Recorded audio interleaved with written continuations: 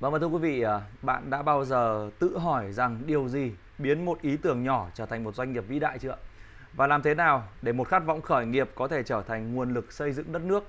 Những câu hỏi như thế này sẽ được giải đáp trong Khởi nghiệp kiến quốc, một à, cuốn sách thiết yếu cho bất kỳ ai khao khát thành công và được viết bởi nhóm tác giả uy tín. Cuốn sách thu hút sự quan tâm của rất nhiều độc giả. Tiến sĩ Vũ Tiến Lộc, nguyên chủ tịch VCCVI, chủ tịch danh dự của Hiệp hội Khởi nghiệp Quốc gia Vinen đã từng nhận định đây không chỉ dừng lại là một cuốn sách về kinh doanh mà đó còn là một bản luận văn về tầm quan trọng của việc xây dựng một quốc gia thịnh vượng, công bằng và bền vững.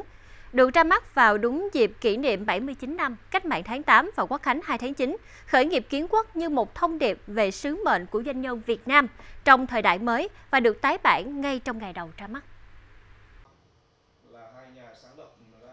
Với 18 chương được chia làm 3 phần, khởi nghiệp kiến quốc mở ra bằng việc đặt ra câu hỏi làm thế nào các doanh nhân Việt Nam có thể đóng góp vào sự phát triển của doanh nghiệp mình, của quốc gia và xã hội trong kỷ nguyên mới.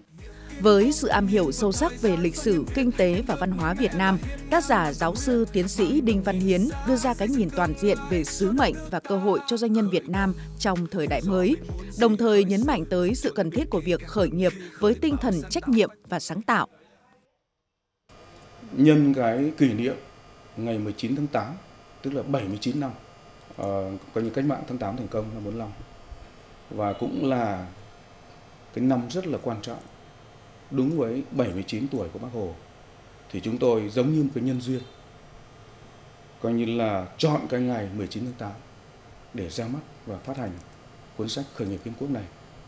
Và cũng mong rằng nhóm tác giả sẽ mang đến cho cộng đồng tác giả Ờ, những cái kiến thức, những cái kinh nghiệm, những cái chia sẻ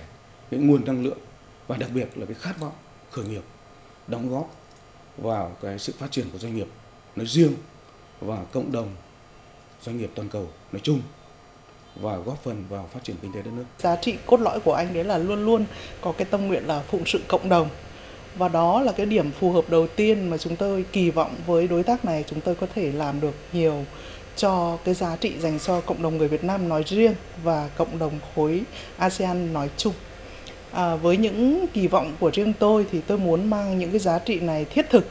À, cái slogan của chúng tôi đấy là tư duy tầm nhìn toàn cầu nhưng mà hành động địa phương và chúng tôi sẽ biến dự án này thành người người có thể khởi nghiệp được. Và đặc biệt là với cuốn sách Ờ, khởi nghiệp kiến quốc ra mắt vào ngày 19 tháng 8 năm 2024 này thì là một cơ hội cho tất cả những người có mặt tại sự kiện được khởi nghiệp ngay, được hành động ngay ờ, để có thể ờ, tạo nên những cái giá trị lớn hơn nữa cùng lan tỏa giúp cho mọi người hiểu rõ được về khái niệm khởi nghiệp và khái niệm khởi nghiệp không rủi ro thì là như thế nào. Từ những bài học lịch sử đến các ví dụ thực tiễn trong nước và quốc tế, khởi nghiệp kiến quốc khám phá những yếu tố chính yếu giúp các doanh nghiệp Việt Nam có thể phát triển bền vững và đóng góp vào sự thịnh vượng chung của quốc gia. Cuốn sách cũng đề cập đến những thách thức và cơ hội mà các doanh nhân Việt Nam phải đối mặt từ hội nhập kinh tế quốc tế, cách mạng công nghiệp 4.0 đến việc xây dựng một nền kinh tế xanh và bền vững. À, như chúng ta biết thì Việt Nam đang là một quốc gia khởi nghiệp và nền kinh tế số là một cái nền kinh tế đang giữ vai trò rất là then chốt trong cái thời đại ngày nay. Thì ờ, như chúng ta biết thì bây giờ khi mà tất cả doanh nghiệp mà có cái lợi thế về công nghệ, đặc biệt là công nghệ AI thì cái sự phát triển của doanh nghiệp sẽ lớn hơn rất là nhiều.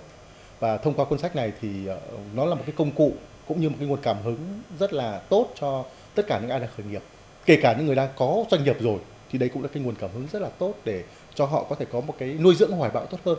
bởi vì bây giờ khởi nghiệp xong lại tái khởi nghiệp đang rất là nhiều. Trong cái cuốn khởi nghiệp Phú quốc thì đi từ bao quát đi từ ờ, tổng thể đến chi tiết. Nhưng cái để mà à, ấn tượng nhất với tôi thì có thể đó là à, cái vấn đề liên quan đến tài chính đúng không ạ? Như các anh chị đã biết là à, vấn đề tài chính đó là mạch máu trong doanh nghiệp từ khởi nghiệp đến những doanh nghiệp thành công. Thì vấn đề tài chính đó là mạch máu. Vì vậy là à, từ cái khởi nghiệp ban đầu à, nguồn vốn ở đâu ra đến trong các cái giai đoạn từng giai đoạn một có những nguồn vốn như thế nào. Khi có được tiền rồi đã là quan trọng rồi nhưng cái việc mà sử dụng tiền và quản lý tiền làm cho tiền phát triển thì cái việc đó cũng quan trọng không kém thậm chí còn quan trọng hơn. Để giúp một doanh nghiệp phát triển bền vững thì trong cái cuốn sách này à,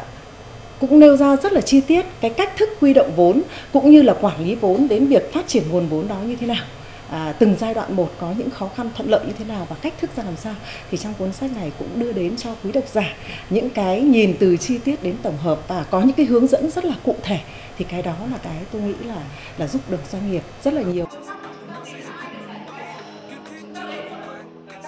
Khởi nghiệp kiến quốc là một lời nhắc nhở về trách nhiệm của doanh nhân trong việc góp phần xây dựng một Việt Nam hùng mạnh, phồn thịnh, dựa trên nền tảng văn hóa, trí tuệ và đạo đức, đồng thời là những chỉ dẫn có ý nghĩa tham khảo cho những ai đã, đang và sẽ bắt đầu con đường khởi nghiệp của mình.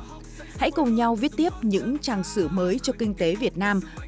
với sự nghiệp khởi nghiệp kiến quốc không chỉ là một lựa chọn mà là một sứ mệnh, thông điệp mà các tác giả gửi gắm trong cuốn sách cũng là nguồn cảm hứng cho tinh thần khởi nghiệp vốn đang lan tỏa mạnh mẽ tại Việt Nam.